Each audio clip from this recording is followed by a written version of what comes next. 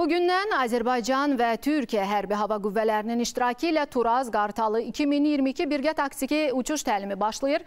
Bu məqsədlə Türkiyə Hərbi Hava Qüvvələrinin şəxsi heyəti və aviasiya vasitələri artıq bir neçə gündür ölkəmizdədir.